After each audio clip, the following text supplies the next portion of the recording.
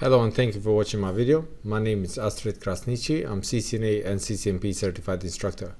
On this video we are covering CCNA semester 3, Scaling Networks, and this is chapter 4, Wireless Local Area Networks.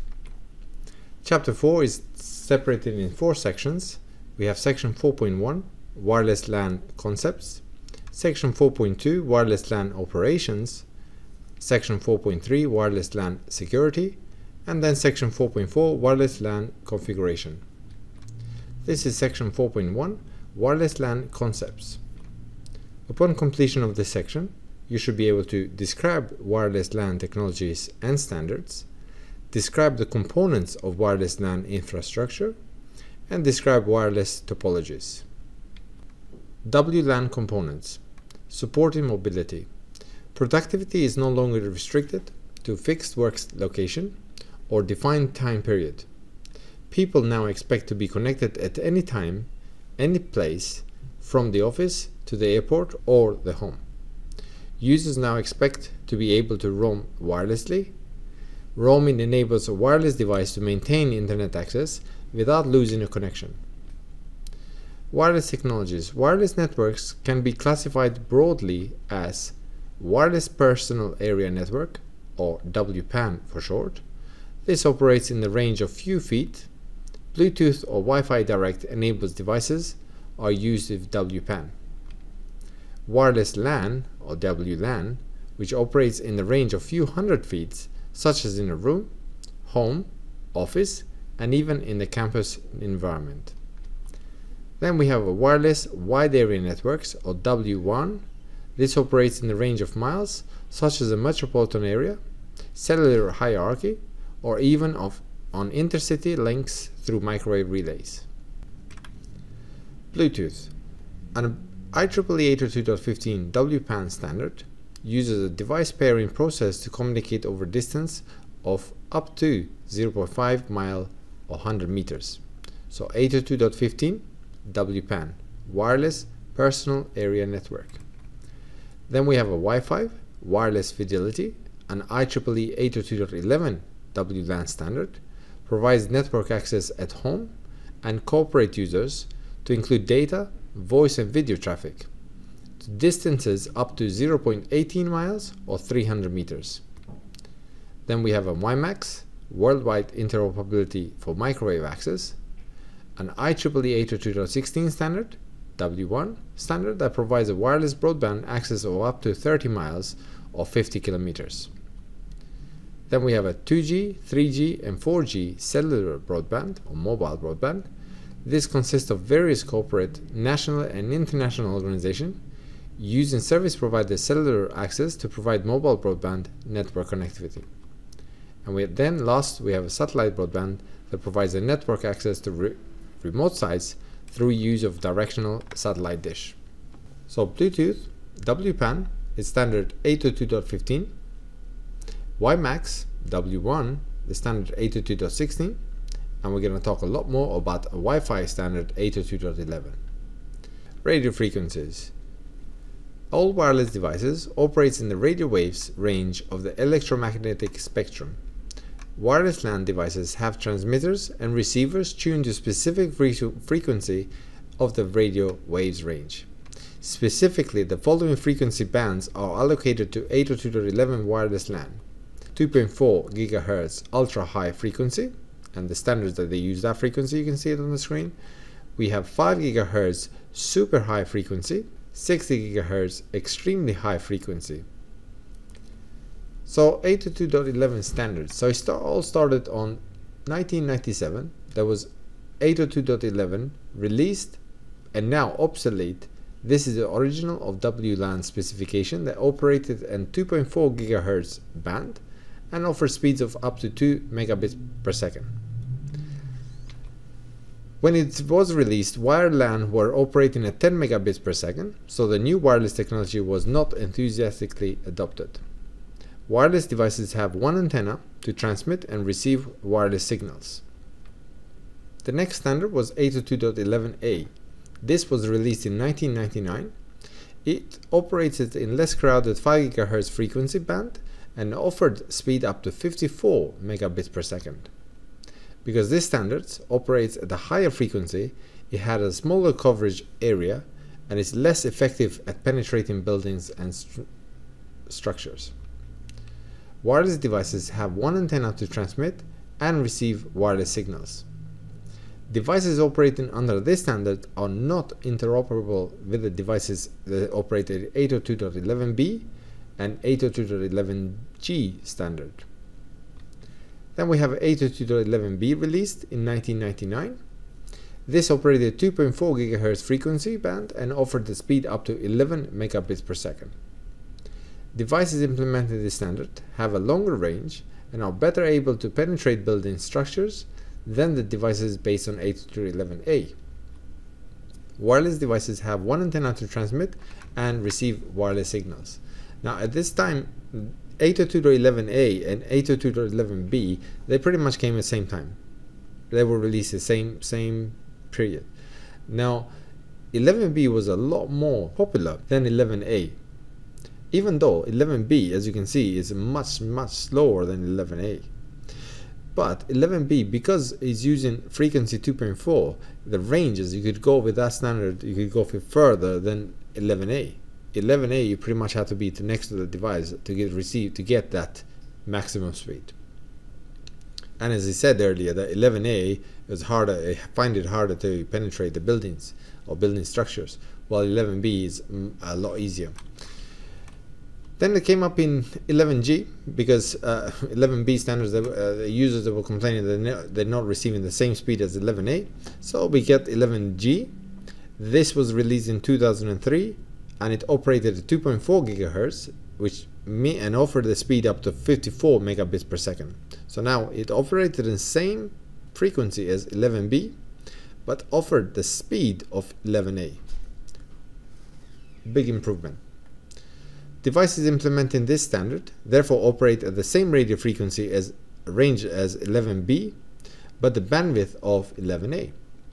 Wireless devices have one antenna to transmit and receive wireless signals, and this is a backward compatible with 802.11b. However, when supporting 11b client, the overall bandwidth is reduced, obviously, to support 11b. Then we have a newer standard, 802.11n. This was released in 2009 and operated at both 2.4 GHz and 5 GHz frequency band, and this is referred to as a dual band device. Typically, the data ranges from 150 megabits per second up to 600 megabits per second, with a distance range of up to 70 meters or half a mile. However, to achieve the higher speed, access point and wireless client requires multiple antennas using the multiple input and multiple output or MIMO technology. The 802.11n standard is backward compatible with all of them A, B, and G devices. Then we have 802.11ac. This standard was released in 2013 and this operated at 5 GHz frequency only and provided data speed ranging from 450 megabits per second up to 1.3 gigabits per second. Is this uses a MIMO technology, so multiple input to multiple output, and uses up to 8 antennas can, can be supported. 802.11ac is a backward compatible with 802.11a and n devices. However, support in a mixed environment limits the expected rate data rates. Then in 2014, we have released 802.11ad. This is also known as WiGig. It uses three-band Wi-Fi solution using 2.4 GHz, 5 GHz, and 60 GHz frequency, and offers theoretically speed up to 7 gigabits per second. However, the 60 GHz band is in line of sight technology and therefore cannot penetrate throughout the walls. When a user is roaming, the device switches to the lower 2.4 and 5 GHz band and it's backward compatible with existing Wi-Fi devices.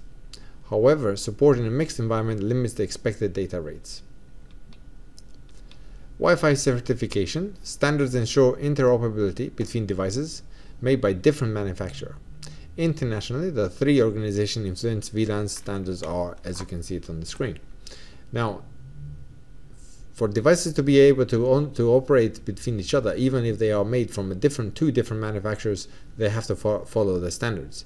So, for example, your router is made by some manufacturer, and your uh, network interface card or wireless network interface card on the laptop, it's made by a different manufacturer. But as long as they support the standards, they should be able to interoperate. Comparing WLAN to LAN, so these are the characteristics of 802.11 wireless LAN and 802.3 Ethernet LAN. For example, the physical, physical layer. In the wireless, obviously, we need the radio, radio frequencies. As long as you are close to the device, within the range of the frequency, within the range of the access point, you will have an access. Cable, Ethernet, LAN 802.3, you have to be physically connected with the cable. Media access, in wireless, we use collision avoidance so carrier sense multiple access collision avoidance, while in Ethernet we have a collision detection. So in wireless we can't detect there's been a collision, but we can just try and avoid it. Availability, anyone with a radio NIC in the range of an access point, will I have that access. In the Ethernet LAN cable connection it is required.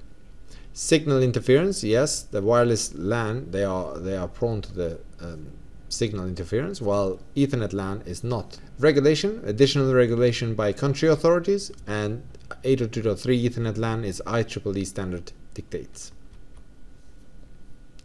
Some of the components of wireless uh, of the wireless LAN are wireless NIC. So wireless deployment, they do require the end devices they have a wireless network interface card, as well as infrastructure device such as wireless router or wireless access point. A home user typically interconnect wireless devices using a small integrated wireless router. These are as access point, Ethernet switch, and router. For example, some of these routers that we have at home, they're doing the job of the router. They usually have a four ports at the back. They're doing the job of the uh, switch, and as well as the antennas that they can do. They can be a wireless device. And maybe as well they have the firewall uh, capability as well. So they they're kind of integrated service routers. Business wireless solution, organizations provide wireless connectivity to their users, require a WLAN infrastructure to provide additional connectivity options. 802.11 refers to the wireless client station uh, as a station, oh, STA for short. Wireless client uses the wireless NIC to discover the nearby access point, advertising the SSID. Clients then attempt to associate and authenticate with an access point, after being authenticated, wireless users have access to the network resources. What we have is two type of access points. We have autonomous APs and control-based APs. Now, autonomous APs, as the word says, they are autonomous. You have to configure an IP address, and they will work autonomous from anyone, anything. Control-based access points, they are like lightweight access points all the control all the control or like IP address and anything it will be controlled by wireless WLAN controllers. So autonomous APs this one you go there an access point you configure an IP address you configure like uh, filtering or anything any configuration will be done in the access point itself. While the control based all the all the um, configuration will be done on WLAN controller so wireless access points, control-based APs, control-based APs are, server, uh, are server dependent that they require no initial, initial configuration. Control-based access points are useful in situations where many APs are required in the network. As more APs are added, each AP is automatically configured and managed by the controller. The benefit of the controller is that it can be used to manage many access points. Some access points can operate in either autonomous mode or in a control-based mode. Then we have autonomous mode. Autonomous access points, sometimes referred to as heavy APs, are standalone devices configured using the Cisco command line interface or graphical user interface. Autonomous APs are useful in situations where only a couple of access points are required in the network. Optionally, multiple APs can be controlled using wireless domain services, WDS, and managed using Cisco Works Wireless LAN Solution Engine, WLSE. Uh, note, a home router is an example of autonomous access point because the entire access point configuration resides on the device. Large wireless deployment solutions here for large organizations with many APs. Cisco provide a control-based managed solution, including the Cisco Meraki cloud managed architecture and a Cisco unified wireless network architecture. Cisco Meraki cloud architecture is a management solution used to simplify the wireless deployment. Using this architecture, APs are centrally managed from a controller in the cloud. Wireless antennas, Cisco Aironet APs can use omnidirectional Wi-Fi antennas. This is factory Wi-Fi gear often use basic dipole antennas, also referred to as rubber duck, designed similar to those used in walkie-talkie radios. Omnidirectional antennas provide 360 degree coverage. We have a directional Wi-Fi antennas, directional auto antennas, focus the radio signal in a given direction which enhances the signal to the from to and from the AP in the direction the antenna is pointing. And then we have a Yagi antennas, type of directional ra radio antenna that can be used for long distance Wi-Fi networking. 802.11 wireless topology modes. So wireless LAN can accommodate various network topologies. The 802.11 standard identifies two main wireless topology modes. We have ad hoc in this topology, is two devices connect wirelessly without the aid of infrastructure device, such as wireless router or access point. Examples include the Bluetooth and Wi-Fi Direct. And the second topology is infrastructure mode, when wireless client interconnect via a wireless router or access point, such as in WLANs. Access point connect to the network infrastructure using the wired distribution system, such as Ethernet. So for example, when we have two clients connecting together without the help of an access point or infrastructure device, then that's called an ad hoc. You get two laptops connecting on, on the cafe, sharing the files together, as ad hoc. If we're using, for example, say that we are using an access point and to connect to the rest of the network, then that's called infrastructure mode. The AP connects to the rest of the network with a distribution system. So ad hoc the WLAN topology mode is ad hoc. The wireless topology, independent basic service set. Number of access points that we don't have any. Coverage area is a basic service area, BSA. Regulation, additional regulation by country authorities. An ad hoc wireless network, network is when two devices communicate in a peer-to-peer -peer manner without using AP or wireless router. Bluetooth and Wi-Fi Direct are example of ad hoc. IEEE 802.11 standard refers to an ad hoc network as an independent basic service set, or IBSS. A variation of ad hoc topology is when a smartphone or tablet with a cellular data access is enabled to create a personal hotspot. This feature is sometimes called tethering. Infrastructure-based basic service set. The infrastructure base is because you have a, uh, for example, an access point. This is called a basic service set. Number of A APs we have is one. This is a basic service area and regulation, additional regulation by country authorities. A BSS consists of a single access point interconnecting all associated wireless client. The circle depicts the coverage area within which the wireless client of the BSS might remain in communication. This area is called the basic service area. If a wireless client moves out of the basic service area, it can no longer directly communicate with the other wireless client within the basic service area. The basic service set is the topology building block while the basic service area is the actual coverage area. The term BSA and BSS are often used interchangeably. Then we have an extended service set where the infrastructure, with topology mode is infrastructure. We have we have an access point, well two in this case. Extended service set is because we have two access points point and they extend our service.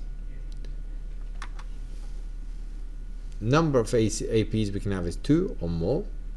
The coverage area is extended service area. Regulation, uh, additional regulation by country authority. When a single basic service set provides in insufficient radio frequency coverage, two or more BSS can be joined together a common distribution system into ESS or extended service set. ESS is the union of two or more basic service sets interconnected by a wired distribution system. Wireless client in one BSA now can communicate with a wireless client in another BSA within the same ESS. From roaming, mobile wireless clients may move from one BSA to another within the same ESS and seamlessly connect. Thank you very much for watching this section 4.1 wireless LAN concepts. Please have a look at my other videos and don't forget to subscribe. This has been Astrit Krasniqi. Next video 4.2 wireless LAN operations. Bye bye.